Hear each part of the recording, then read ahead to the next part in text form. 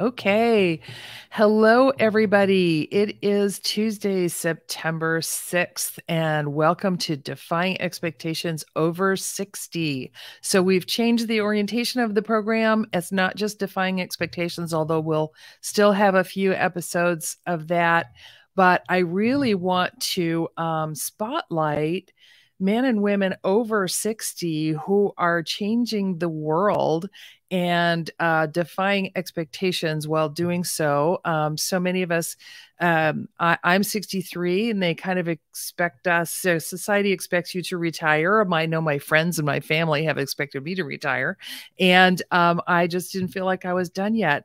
And I want to introduce you to my friend Gail Webber who is uh, also defying expectations over 60. Gail, why don't you introduce yourself? Ah, thank you, Suki. I'm so happy to be with you. I actually did a first big change in when I was 60 and I shifted to become an executive and a life coach.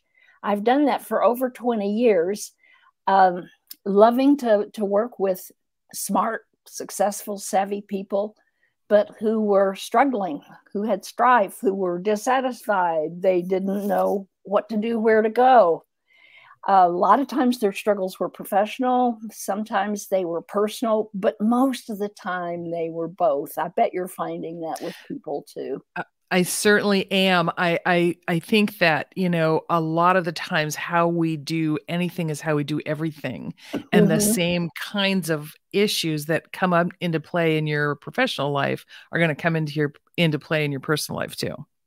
I absolutely love that mm. that statement that you made. How how we do anything is how we do everything. Is how we do everything. I love that. That's yeah. Thank yeah. you. yep. So um, you've got something big going on now. First of all, um, tell the people that are watching how old you are because it is uh, startling. uh, my last birthday, which was in November, I turned 80. Yeah, isn't that crazy? Um, I, I find the numbers over a certain age are they're just dumb. They don't mean anything anymore, you know. You bet. And um, the fact that you know I intend to keep going while my energy holds up uh, until I'm not having fun anymore. Mm-hmm. Um, and uh, I I would like to be 80 or 80 plus when I, um, you know, doing more great things in the world. Yeah. So now you've got a big project going on, right? I do. And the, to your point, things that we thought about doing when we were 50 or 60 or 70 uh, may not have even been on the playing field for us. Um, and now they are. And yeah. what I'm doing is, and, and I've had this in the back of my mind f- for so long. Um, I've, I've wanted to write multiple books, but my goodness, time's going by so fast. And so I'm focusing on the one of those three or four books that I think is most important. And oh gosh, maybe I'll get a big energetic push and do all three or four of them. But my focus right now is on love. On love, okay. And so it's not, it's not erotic love. It's not. It's not eros. right. It is, um, I think we would, but we would most recognize it as agape, but it's so much, to me, it's so much broader and it is so much uh, deeper than that. Well, tell me, so tell folks who are watching what agape means and then, um, and then tell me a little bit more about that book. Um, well, agape is, is typically re, um, used to refer to like spiritual love or Christian love or okay. Mm-hmm. it's it's doing good for people. It's um, okay. so it's like lo- as I would say like loving on people. Yeah. Yes. Absolutely. In, in and and again, I want to stress that it's so much broader and deeper than that. Mm-hmm. Uh, I, I was introduced to a, not literally, but to a Nobel Prize winning economist. And almost mm. anyone who has gone taken an econ class in college probably had his textbook, even those of us who are 80. and his name's Paul Samuelson. And I pulled one of my favorite little books about him um, mm-hmm. out. It's it's called uh, there we Economics go. Economics from the Heart. Interesting. And the story about him that really uh, put a lot of energy into what I want to do was when he said that his textbook publisher would not allow him to use the word, put the word love in his index. Really? Yes. And it just really struck a chord for me, Suki, because um, it, it was telling in how seemingly inappropriate it is for us to deal with or address or care about people outside of whatever they're doing for their work, making widgets or whatever that work is. Right. Right. So he has inspired me to, at times when I wanted to give up, I'm inspired by this economist who, who lived a long life. I think he was in his 90s when he died. Golly. And and he keeps pushing on me to write this. But the concept is becoming very interesting. There's um, there's a book called Love as a Business Strategy. So, oh, I like that. Isn't that great?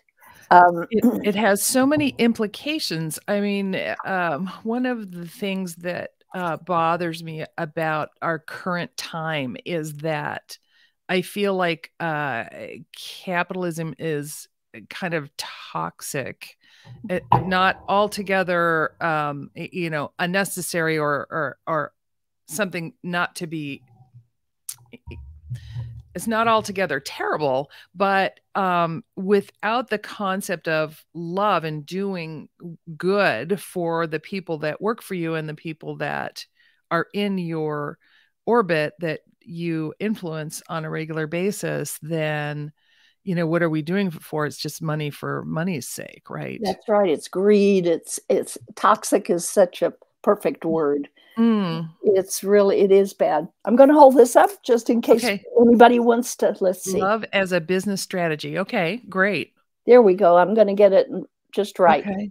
who's and the it, author on that um it's a group actually okay uh, the first author's last name is Anwar, A N W A R. Okay. Mm-hmm. And I can definitely send you the whole contact information, and maybe you will want to. Or just the link, yeah, and we'll put it in the in the um the comments on the post. So it's um, and and he actually came to this because a college football coach from his alma mater was using love as a game strategy. Wow. And so that it's a beautiful story, it's a powerful story, and it is so inspiring and it's so current. So I'm thrilled to see that other people are beginning to find what I'm talking about, what you're talking about, and they're giving us words to in sometimes it's vocabulary right? You gotta yeah you've gotta have words and uh, common words so that you can express what you're what you're thinking and talking about and other people will understand you yeah. Mm-hmm.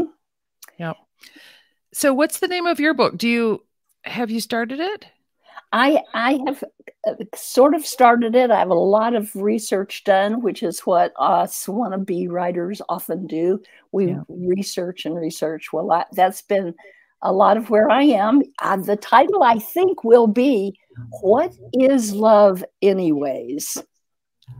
What is love, anyways? Wow. now that's a big subject. That's not, um, it isn't grammatically correct, and I may change my mind, but it's actually, um, I'm, it's actually a quote for some, uh, from someone who had just told me a few weeks before, um, he said, I said, there are things that we do for love. And I, at that time, I was taking care of my mother. There are things we do for love. And he said, hmm, love just means having to kiss somebody's ass. Oh, interesting. Because his interpretation of love was nothing more than erotic love. Hmm. hmm. And, and I would say probably not even erotic love, but it was just sex, raw sex. That's what yeah. Hmm. So I'd I want to broaden that conversation, that definition. Right. And so it's like it's like love in the workplace and school and like... yes, yes. We can be so cruel to one another. Mm-hmm. And of course, in the and I don't want to get political, but I do want to point out, if I might, that the um, the political uh, environment in our country the last few years that has been that has caused so much division very polarized yes we're, we are so polarized and and um, i think love will do a whole bunch of um, good stuff for finding points. I mean, maybe we're neither one of us long, uh, uh, wrong, but let's don't just go for hate. right, right, right. So, well, it sounds like a very interesting book. Um, you may find when you're writing, you say you you believe you've got a bunch of books in you. Uh, you may find when you're writing that once the first one's done, that it's easier to write the second one. You might get them all just cranked out in a matter of a couple Wouldn't of years. Wonderful, right? uh, awesome. Because I kind of intend to be very old. I, you know, I, am right. I'm still not very old. But yes, no, you're not very, very old. old. Look at you. You've got tons of energy. You've got plenty of things to look forward to. You've got plenty of things to um, get you out of bed in the morning. And um, it's very inspirational. So um, I'm so glad you agreed to come on and be interviewed today. Oh, thank you. It is an honor, Suki. It's an honor that this challenge of opening up our conversations about the ways people experience love and the ways yeah. they may be missing out or they may know things that other people need to know. So yes, we I need agree. to have a conversation. Lots. I have. I, I've had so many conversations over the last few years about, um, I, I, well, what I mean to say is I have learned so much from the conversations that I've had from other people. You know, uh, they all make me think. And like you said, even if you disagree with somebody, often they've got really good points to make. And, um, you know, and uh, it'll open up the way you think about something. So, mm-hmm. Yeah, I think that's great. And if your book about love is a conversation starter, then um, I know we'll all be the richer for it. I, I absolutely hope so. and I well, think Gail, it will. I think it will too. And I can't wait to read it.